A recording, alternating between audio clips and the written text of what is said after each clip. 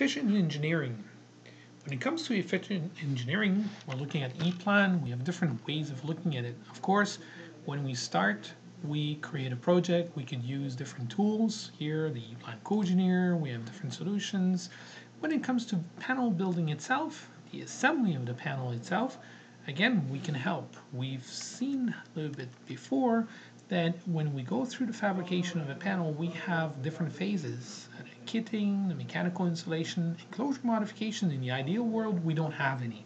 But of course, in this world, we do have to do some modifications. Uh, we have to assemble uh, the terminal strips, we have to install the devices, we have to go through some labeling, the wire fabrication and wiring, and of course finally the testing and the logistics is a loop that endlessly starts over again and then again.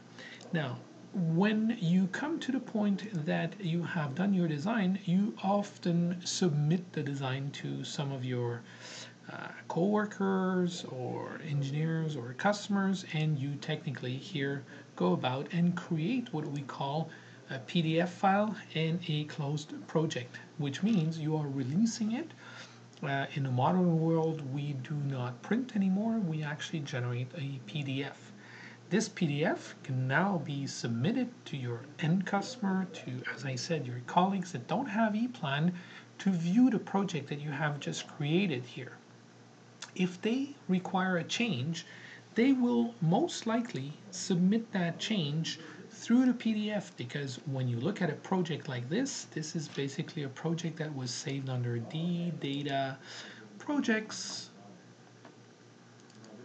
Rockwell automation on the move ROTM here and my project is my EC1 Cogineer in my document I can find my specific PDF file.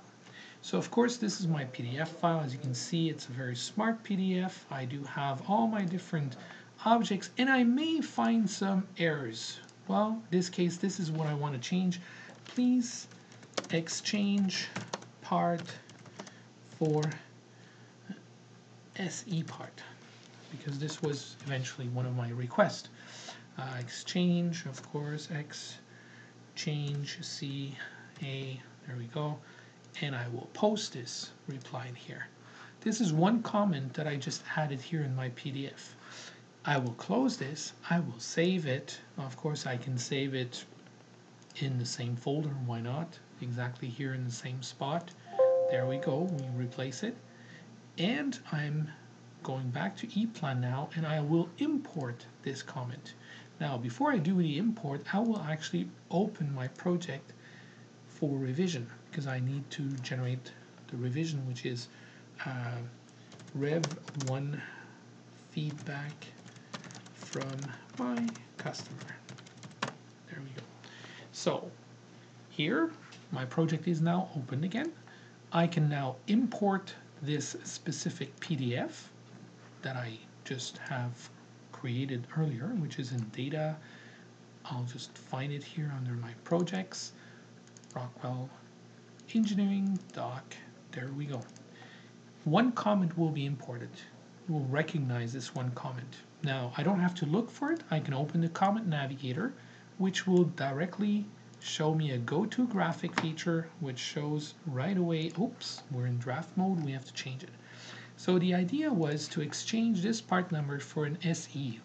Internal language is the Schneider part. So I'm going to do a change. I'm going to just basically create here a recycle bin.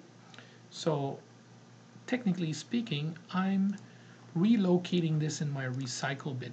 So this means basically this guy, I will basically put it up there and this one here, I will modify it, which means I will remove that part, right? Um, remove it, there we go, remove the part here uh, I will go to the data portal and I will look for another part, this time not from this manufacturer, from another manufacturer. And I'm going to check in here for something that could actually work. Uh, it's a 2.5. This one is good. I'm going to pick this guy here.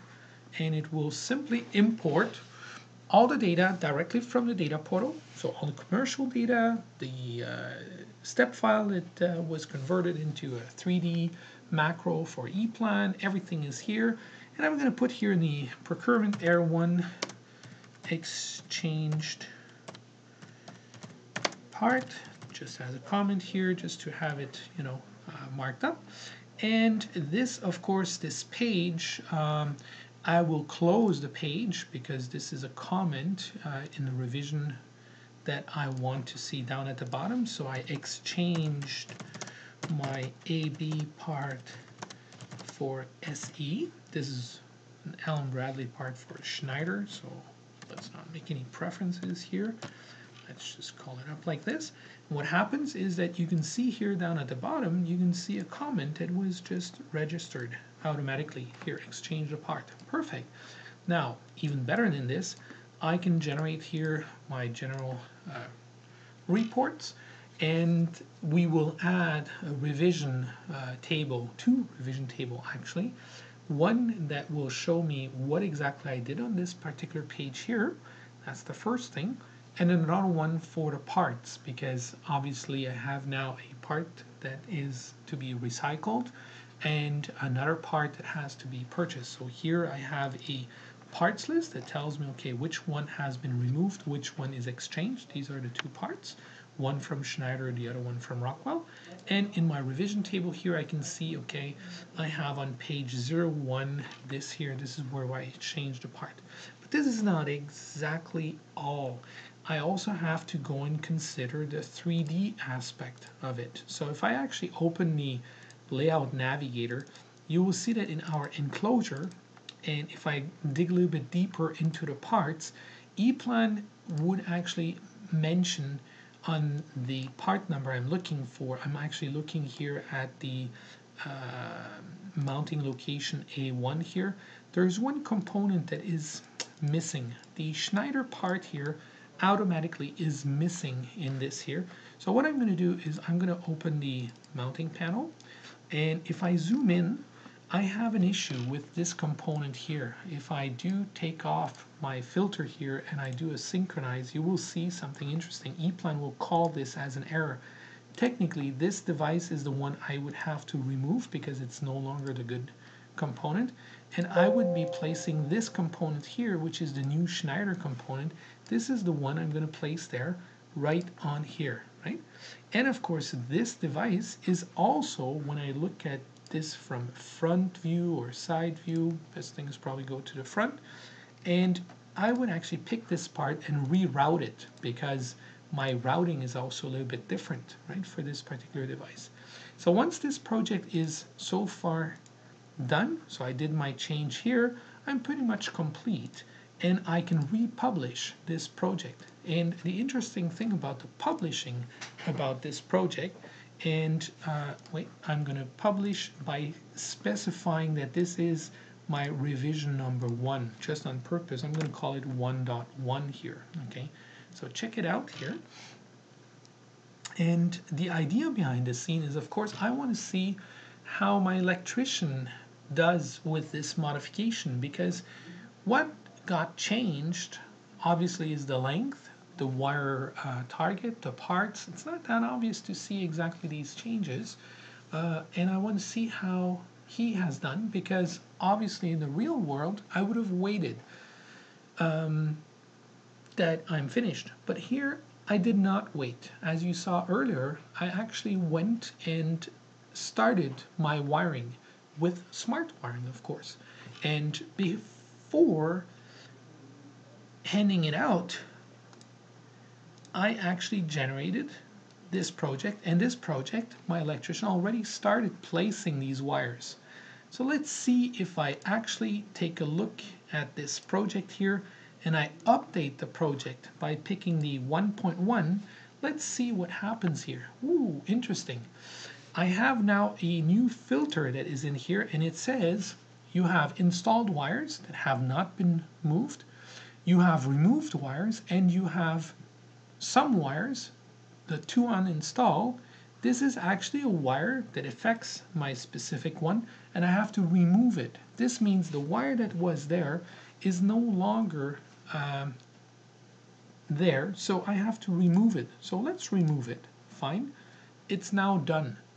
Now I can go and check out my new status here and just filter out and start again with all the, the ones I can reposition and I can do the wiring as much as I want. It's all done.